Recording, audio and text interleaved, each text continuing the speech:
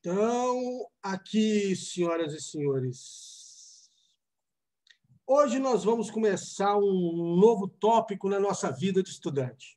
É, vamos falar de campo magnético. Exatamente isso. Encerramos eletro, eletrodinâmica, vamos entrar em eletromagnetismo. Um assunto muito bom, muito bom mesmo pouca incidência no Enem, em outros vestibulares aparece. Entretanto, temos que abordar o assunto, tá certo? No decorrer do nosso assunto de eletromagnetismo, vai aparecer questões envolvendo eletrostática e eletrodinâmica. Sem medo de falar, sem medo de ser feliz. Valeu?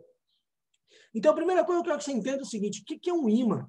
Ímã é um campo magnético. O que é, perdão? Falei errado. O que é um campo magnético?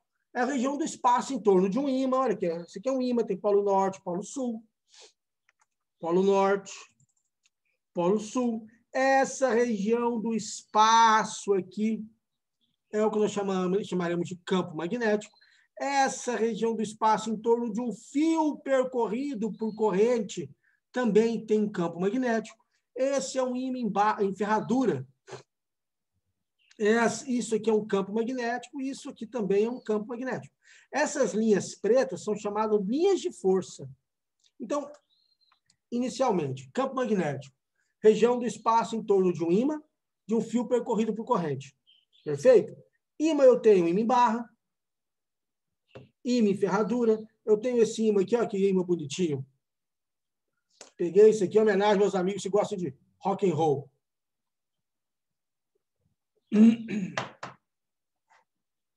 Então, é um ímã. Isso aqui são as limalhas de ferro que estão acumulando aqui nas beiradas dele. Então, essa ideia do campo magnético, essa ideia desse campo invisível que está ao redor do ímã, é muito legal para a gente. Muito legal mesmo. Para a gente poder entender o que nós falaremos de magnetismo. Então, falou ímã, eu quero que você pense nessa região do espaço em torno dele, que nós chamaremos de campo magnético.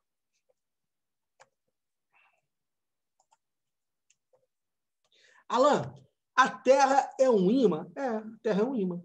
Como assim, Alan, a Terra é um imã? Veja bem, a Terra tem um campo magnético que surge no interior dela.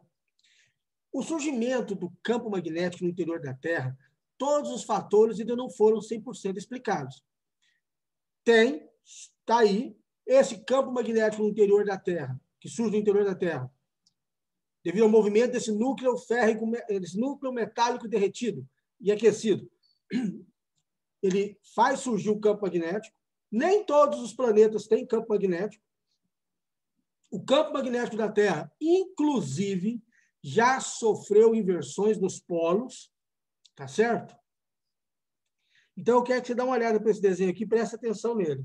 Olha que a Terra sendo comparada ao magneto, a um ímã. Então, aqui, ó, as linhas de força, essas linhas aqui, ó, de branquinho, saindo do ímã, vamos falar do sentido delas daqui a pouquinho, tá certo? E como se no centro da Terra, no da Terra, tivesse um ímã. Inclusive, tem um filme bacana que eu recomendo nessa época, que todo mundo assistir. Chama Núcleo, Viagem ao Centro da Terra. Sensacional, é muito bom. Ótimo. Ótimo. Quem, quem falou aí? Rafael. Rafael, excelente o filme mesmo, você não está errado, não. Ele, ele começa mostrando alguns animais batendo no, umas aves, né? Batendo num prédio. Depois ele faz um levantamento e descobre que alguns animais se perderam no mar. Como esses animais se perderam no mar? É, muitos animais fazem seu movimento migratório em cima das linhas de campo magnético, influenciado pelas linhas do campo magnético. Louco, né? Isso aí a gente pode falar tubarão, tem um tubarão, se não me engano, é um tubarão tigre. Ele faz seu movimento migratório em cima da linha de campo magnético. Tem, tem, umas, tem algumas pessoas que falam. Ah, nós sabemos que o pombo, o pombo ele é sensível ao campo magnético. Eu vou falar do pombo correio. O pombo correio, se você pegar um ímã passar aqui na cabecinha do. a base da cabeça do, do, do núcleo, viagem ao centro da Terra, o nome do filme, Matheus. Compensa todo mundo assistir o pombo correio, se você passar o, o imã aqui na, na, base da cabeça dele, ele bagunça totalmente o magnetismo dele. Sim, já falei, exatamente, Giovana. O campo magnético da Terra já sofreu inversões. Não foi uma vez só, não, viu, Giovana? Foram mais, foram várias vezes. Então, olha só. Então, falei do tubarão, falei do, do pombo. Existe uma bactéria chamada bactéria magnética, que dentro dela tem um, um, uma hematita, que é o imã. Deixa eu ver se eu tenho, eu, se eu separei esse slide para mostrar para vocês aqui. É porque se for deixar eu mostrar tudo que eu quero mostrar nessa parte inicial aqui, eu vou deixar vocês malucos. Esse aqui, ó. Essa é uma bactéria. Tinha colocado lá e você não vem. Por que você não vem? Espera aí. Tá aí. E essa aí ó, é chamada de bactéria magnética. Dentro dela tem pedaços de ímã. Então, ela sofre a ação do campo magnético. Legal, né? Ela sofre influência do campo magnético. É, eu acho isso fantástico também. Deixa eu voltar lá para o slide que eu estava. Então, tem muita, muita coisa interessante sobre isso. Tartarugas. Tartarugas fazem um movimento migratório também influenciado pelo campo magnético. E o, campo, e o Sol tem campo magnético? Tem, isso aqui é o Sol. O campo magnético da, do Sol influencia na Terra? Ixi, influencia. Já teve caso de explosões solares chegar na Terra e arrebentar com transformadores na linha do perto de, de, de Canadá, do Quebec, deixando a cidade sem luz por muito tempo. Explosão solar, que às vezes chega no, na Terra, você vai entender por que, que ela vai parar no, no Canadá, por exemplo. Quando eu falar de interação do campo magnético da Terra, vocês vão entender. Ele é desviado aqui para os polos, o que chega do espaço, que tem carga magnética. Então, o campo magnético da Terra ele, ele atua na Terra como um escudo de proteção.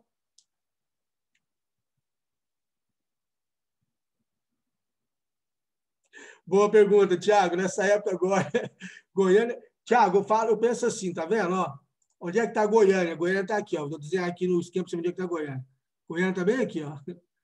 Aqui, Goiânia. A terra está aqui, Goiânia está aqui, ó. Entendeu? Nesse, nesse período nós estamos vivendo. Às vezes eu tenho a impressão que a linha do Equador passa por Goiânia duas vezes, uma na ida e uma na volta, do tanto que, tá, que o sol está castigando a gente.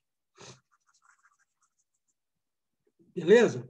Então, o campo magnético da Terra ele serve como escudo protetor da Terra. No filme Núcleo, eu mostrei isso acontecendo. Mostra o que, que acontece se, por acaso, nós não tivéssemos o campo magnético da Terra. Ah, Alan, legal. E as auroras? As auroras surgem devido à presença do campo magnético. O Sol está jogando cargas para o espaço, essas cargas batem aqui no campo magnético da Terra e são desviadas para os polos. Quando chega nos polos, essas cargas elétricas colidem com a atmosfera. Dependendo da quantidade de gás que estiver mais difundido na atmosfera, dá a coloração característica do gás. Então, as auroras nada mais são do que cargas elétricas que vêm do espaço, que bate no campo magnético da Terra e é desviado para os polos, fazendo o fenômeno das auroras. Eu sei, se você é terraplanista, você não vai acreditar no fenômeno da, da aurora boreal nem da aurora austral, tá certo? Para você acreditar, entender que esse fenômeno existe, você não pode ser terraplanista, tá bom? Paciência. A gente não consegue agradar a todos.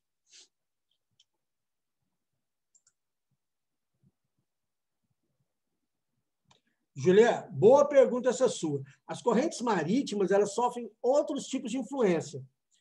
Não posso dizer que, que tem ou que não tem no campo magnético. Mas certamente ali é uma outra coisa, como por exemplo o próprio movimento da Terra. Entendeu? E a Terra faz vários movimentos. Às vezes um tremor, o um movimento de uma placa tectônica, isso tudo influencia nas correntes marítimas. Beleza? Então, como é que é essa interação magnética?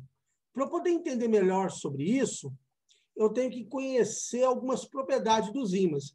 A primeira, essa todo mundo conhece, essa todo mundo sabe, todo mundo brinca, todo mundo gosta. Né? Atração e repulsão magnética. O que quer dizer esse atração e repulsão? Ele fala assim, ó, eu vou desenhar um imã aqui para você. Todo ímã tem polo norte e polo sul. Polo norte e polo sul. O atração e repulsão é simples. Ele quer dizer assim, ó, polos de mesmo nome se repelem. Norte repele norte, sul repele sul. Ó, tá vendo que é sul com sul? Há uma força de repulsão. Há uma força de repulsão. Polos de nomes diferentes se atraem. Sul atrai norte, norte atrai sul. Olha que legal. E é o que está mostrando esse desenho. Ó. Norte repele norte, norte atrai sul. Então, simples, né? Polos de mesmo nome se repelem, polo de nomes contrários se repelem. Norte repele norte, sul repele sul, norte atrai sul, sul atrai norte. Fácil, tranquilo, né? Por que, que você quer tranquilo? Porque você já brincou com imã a vida toda. Você pegava o imã, põe na mão e apertava um, empurrava o outro. Por quê? Polos de mesmo nome. Quando você virava o imã, colocava, um colava no outro. Porque polos de nomes diferentes. Bacana?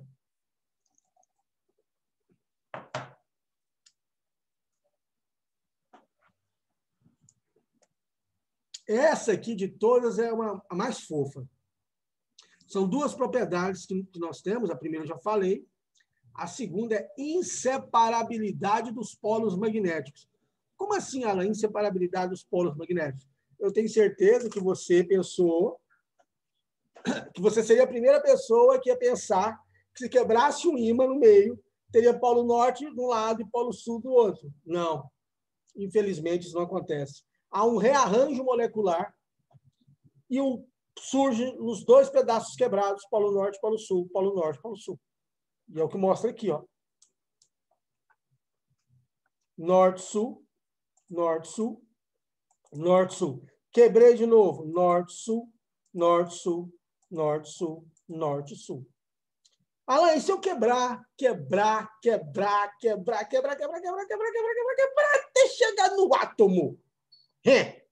E agora? No átomo. Polo Norte, Polo Sul.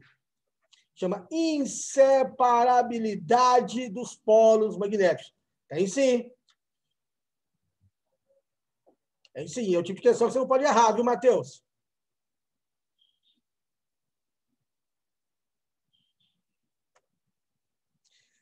O que é, o que são as linhas de indução? É as linhas de indução, um mecanismo que nós utilizamos para representar o campo magnético. E eu preciso que você guarde um negócio importantíssimo da agora para frente. As linhas de indução, elas vão sair do polo norte e chegar no polo sul. Sai da onde? Do polo norte e chega no polo sul. Sai do polo norte e chega no polo sul. Em qualquer imã, sai do polo norte e chega no polo sul sai do norte do ímã, do norte magnético e chega no sul magnético. Sai do norte magnético e chega no sul magnético. Alain, e como é que é na Terra? Na Terra é assim. É assim, ó. Olha que legal aqui na Terra. Você está vendo que o, o desenho um imã aqui, ó? Esse é o polo norte do ímã. Esse é o polo sul do ímã. O polo norte do ímã está apontando para o polo norte magnético da Terra, porque é ímã. Agora, o norte magnético é o sul geográfico. O sul geográfico é o norte magnético. Então, o aluno, às vezes, ele pensa assim, ah, mas se sai do norte e entra no sul, ele está saindo do norte, ele está saindo do sul. Está escrito aqui, ó. Ele está saindo do sul. Deixa eu mudar a cor disso aqui. Ele está saindo do sul. Sul geográfico é uma coisa. O sul geográfico é o norte magnético. Do mesmo jeito que, os, que o norte geográfico equivale ao sul magnético. Perfeito? Legal.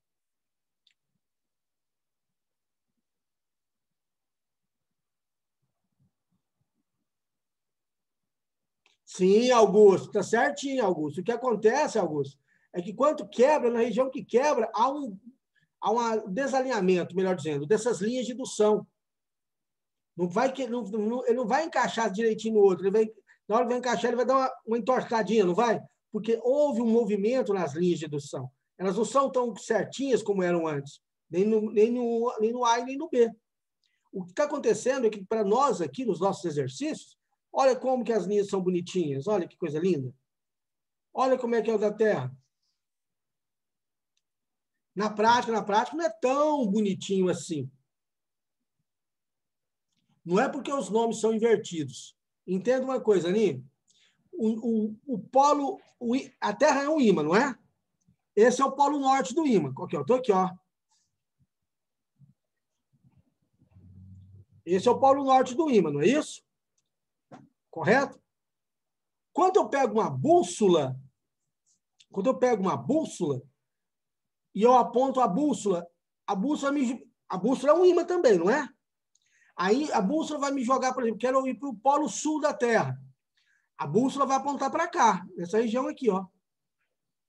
Mas, Alan, por que, que vai apontar para cá? Porque o ímã da bússola está apontando sul. E essa região é o norte magnético. Norte e sul não atrai? Entendeu por que tem que ser invertido, Ana Laura? Eu estou com a bússola. Beleza, bacana. Bacana. Gente de Deus, aqui está derretendo aqui. Então, isso aqui são as chamadas linhas de indução. Eu mostrei a linha de indução no ímã em barra, na terra, mostrei no ímã em ferradura lá atrás. Então, o que nós sabemos até agora? Que nós temos duas propriedades no ímã: atração e repulsão magnética, inseparabilidade dos polos magnéticos. Falei para você que o campo magnético sai do polo norte e entra no polo sul, sempre. Sai da onde? Do norte e entra no sul. De que maneira? Sempre. Eu preciso que você perceba isso, porque agora nós vamos dar um passo legal na matéria.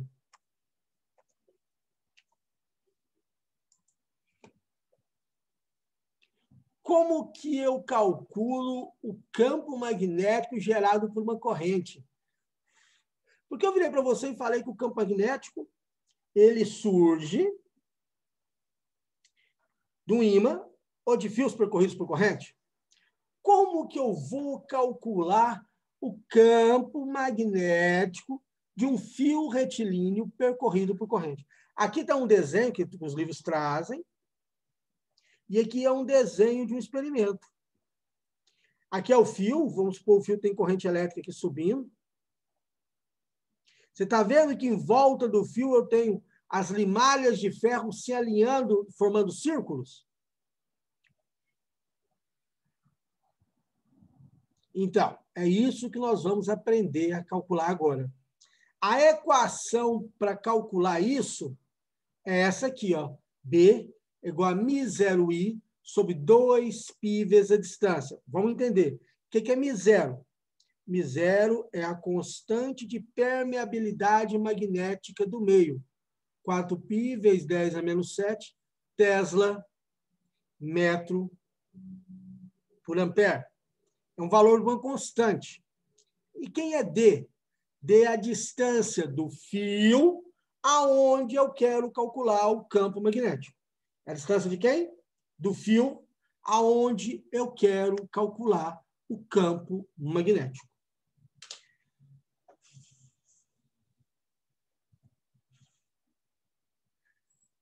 Agora é um bom momento de você me fazer uma pergunta. Tudo bem até agora?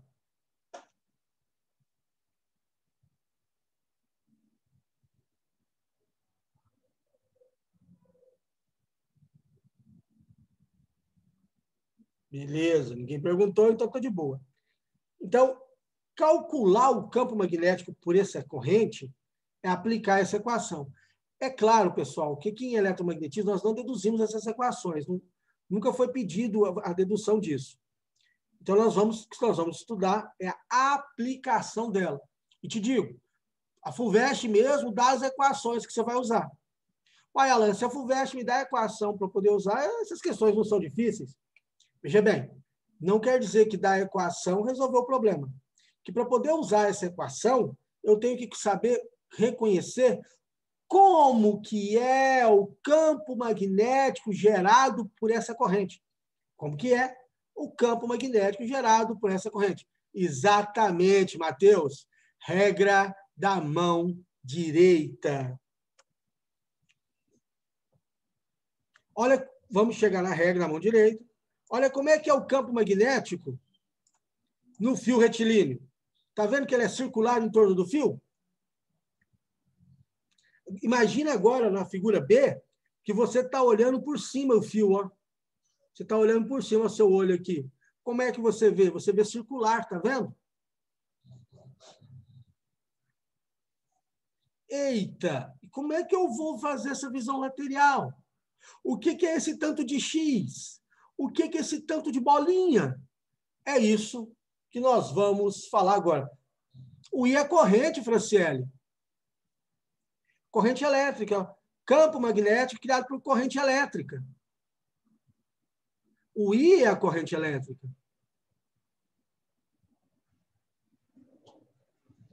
Muito bem, muito bem, muito bem. Prontos para aprender, relembrar regra da mão direita?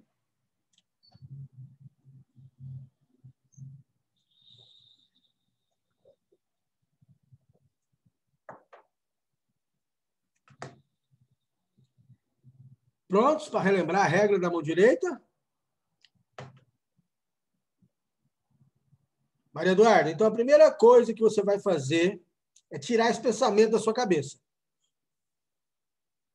Tira esse pensamento da sua cabeça. Porque senão você está jogando contra você. Põe na cabeça, se programa, dá um minuto para você. Isso, dá um minuto para você fechar seus olhos e pensar que esse é o momento de você aprender.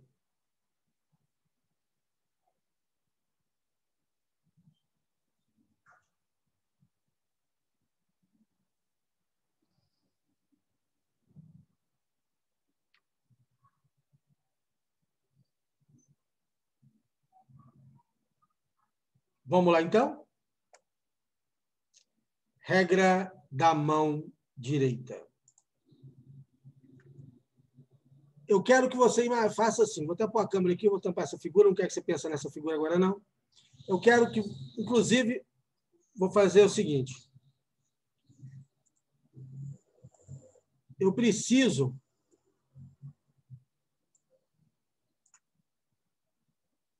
saber se vocês estão entendendo isso ou não.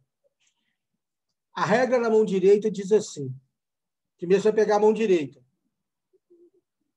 vai fazer assim com ela, abrir ela, tá vendo? Espalmar ela, tá vendo? Não é assim, não é assim, não é assim, é assim. No máximo, se quiser, você pode abrir os dedos, os dedos, tá ok? Ela, você vai fazer assim. Dedão no sentido da corrente palma da mão, campo magnético. Todo mundo.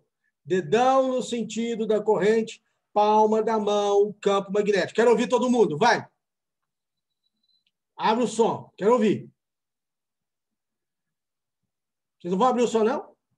Vamos lá. Dedão, dedão no sentido da corrente, palma da mão, campo, palma da mão, campo magnético. Dedão, sentido, Dedão, sentido da, da corrente. corrente palma da mão, da mão magnético. magnético.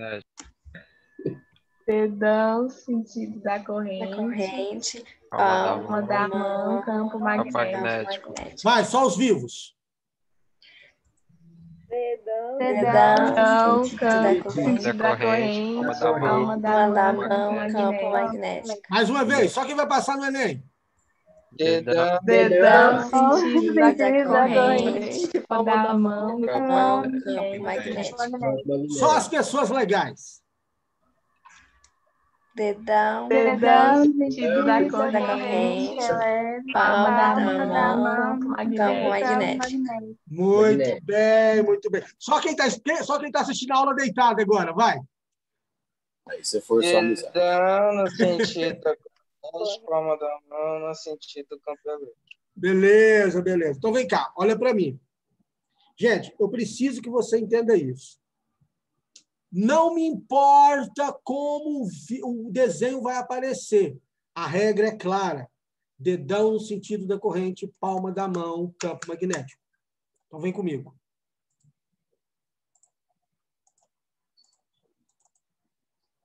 Olha para esse desenho que está aqui. Está vendo que o fio está na sua frente? O dedão está aqui. Fio. Corrente está subindo, não está? Mão direita, dedão no sentido da corrente. Está vendo? Ó, dedão, corrente está para cima, o dedão está para cima. Faz esse movimento com a mão. Precisa que você faça esse movimento. Está vendo que sua mão está entrando? Então, aonde tem o X, imagina sua mão batendo. Ó, tu. Imaginou sua mão batendo?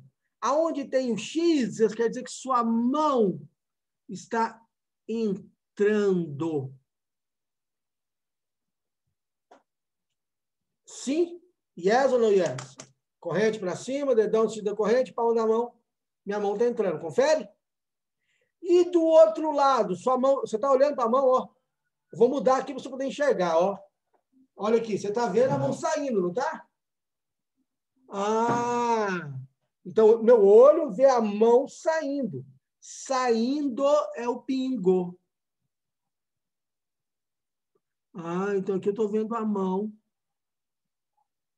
saindo. É, é um, é um acento, mas você vai pensar que tem I, o item pingo.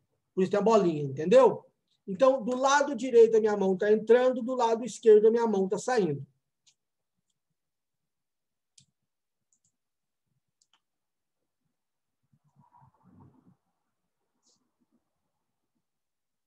Entendeu, Maria Eduardo?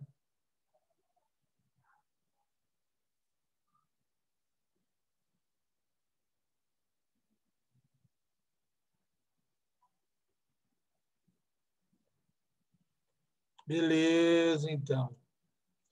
Todo mundo entendeu esse desenho que está aí? O campo está entrando, X é entrando. E pingo é saindo. Deixa eu contar um segredo para você. O aluno ele comete o vacilo de achar que entrando X, saindo pingo, é só em magnetismo, né? Não tudo na física que você quer representar, alguma coisa entrando ou alguma coisa saindo,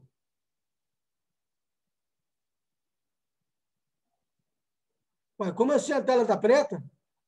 Pessoal, tem mais alguém que está vendo tela preta? Não. Tá de Não. Não. Dá uma olhada aí no, na sua máquina. Pode ser a sua internet. Olha só. Então, o, o X entrando e o pingo saindo não é só para eletromagnetismo, para qualquer grandeza que esteja entrando, qualquer grandeza que esteja saindo. Ok? Ah, então a velocidade de uma partícula, se ela está saindo da parede, isso vai representar o pingo. Ah, ela está entrando na parede, representa o X. Beleza? Tem gente que gosta de pensar assim, imagina uma flecha.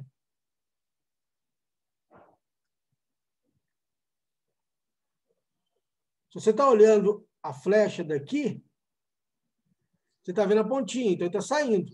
Se está vendo a flecha daqui, ó, você está vendo um X. Quer dizer que ele está entrando. Tá certo? Aí cada um escolhe um jeito de poder para poder entender isso melhor. Então nós vamos praticar a regra da mão direita. Sem regra da mão direita, nós vamos precisar muito disso. Primeiro exemplo. Olha, minha corrente está de verde, está subindo, tá vendo? Você vai representar para mim o campo magnético na região A e na região B. A região A é esse pontilhado de azul e a B é pontilhado de azul. Pode desenhar no seu caderno rápido e fazer o campo magnético em A e em B, por favor.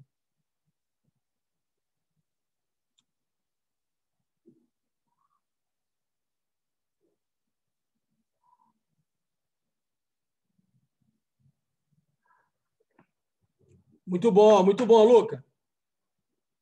Muito bom.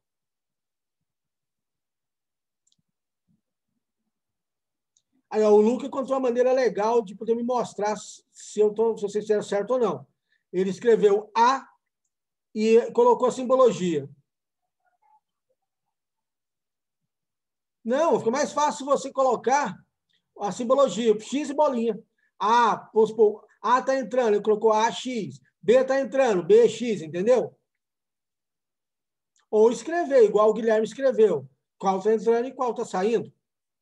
Mas, Guilherme,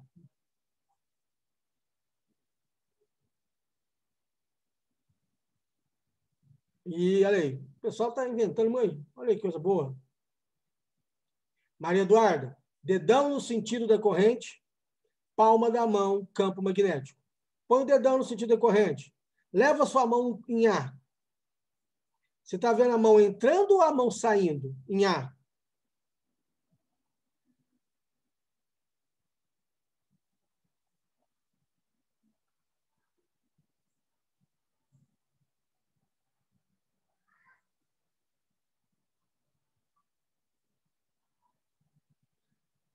Maria Eduarda, pensa comigo. O ponto A está aqui, ó. Correto? Minha mão está aqui, ó. Você, você é observador, você é o Alan.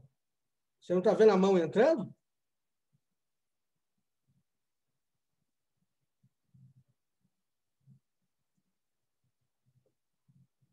Ó, eu vou me colocar no, na sua posição. Isso. Então, se A Somos dois, Júlia. Imagina o desafio, né? Eu adoro um bom desafio, Júlia. Então, em A, está entrando. Concordem comigo?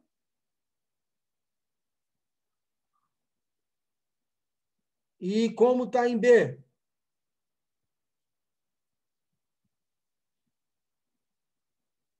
Bebê, que legal em B está saindo. É isso aí.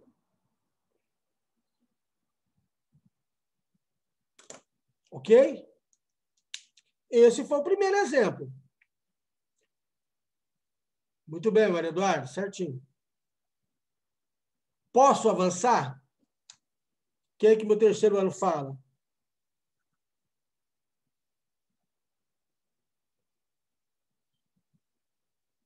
Beleza. Eu gosto de desafios. Faz o B para mim agora.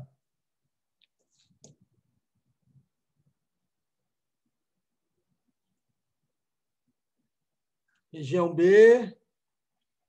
Região A. Inverti o fio, inverti a corrente. Como é que resolve isso? Dedão no sentido da corrente, palma da mão, campo magnético.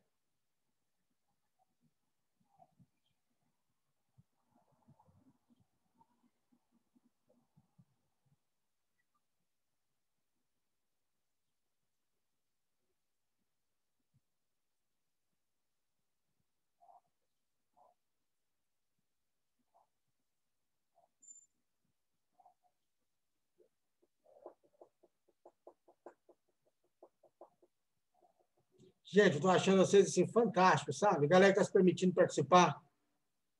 Muito bem, muito bem. Uma beleza, gente. Olha aí.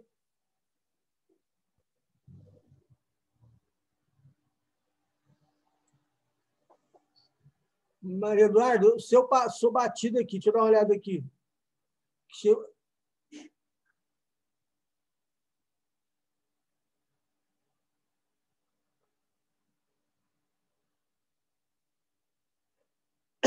Perfeito. Perfeito, Maria Eduardo, certinho. Todos que me mandaram, que eu vi, né, que chegou um voto de uma vez, acertaram. Então, vamos lá? Fio está aqui, a corrente agora está descendo. Ó. Pontinha é a corrente. Corrente está descendo. Eu, você está no meu lugar. Eu estou vendo entrando em B, saindo em A. Eu estou vendo entrando em B,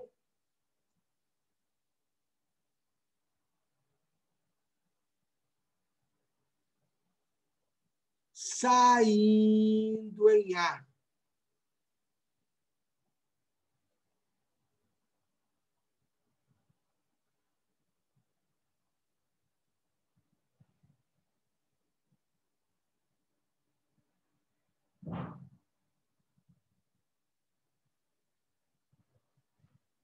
Mas tem que treinar mesmo, Maria Eduarda. Vamos lá de novo. Dedão no sentido da corrente. A minha mão não está entrando em B? Veja bem, você que está do outro lado da tela tem que entender que você tem que estar tá no meu lugar aqui, ó. Imaginando a corrente descendo, imaginando o que você está vendo, ó. Então aqui está entrando e aqui está saindo. Gatinho, deu a hora, viu? Já? Já. Caracas! Valeu, já está na hora, já está na hora, já está na hora. Pessoal, vamos ah. fazer uma leitura breve aqui do Minutos. E aí eu vou pedir, eu preciso que vocês refaçam, tá, gente? Maria Eduarda, você não está perdida, não, você está aprendendo. Você está no caminho. Refaçam, refaçam, refaçam. Abram material, abram livro, pesquisa na internet, estuda isso. Vamos lá? Faça questão de ser alegre e principalmente otimista. Olha aí, ó, temos que ser otimista dos desafios. Nada na Terra pode destruir a felicidade de uma pessoa otimista e alegre. Se lhe chegarem dores, receba-as com calma e não se deixe atingir por elas. São os desafios que estão aparecendo para nós. Olha aí, eletromagnetismo à distância, olha que louco. Não coloque sua felicidade no que vem de fora. Construa sua felicidade dentro de você mesmo, fazendo consistir sua aventura no progresso constante da vida, do espírito e da sabedoria do seu coração. Galera, muito obrigado pela atenção, pelo carinho. Passa rápido, né? Que a gente se diverte, né, Marcão? Galera, obrigado pela atenção, pelo carinho. Valeu, Ítalo. Até daqui a pouco, na progressão com a prova dos meninos. Vida longa e próspera. Forte, caloroso e um distante abraço a todos vocês. Valeu, muito bom, Isadora, que legal. Alô, Alan. Alô, Valeu, Alan. Boa semana de saco cheio para vocês. Valeu, Alan.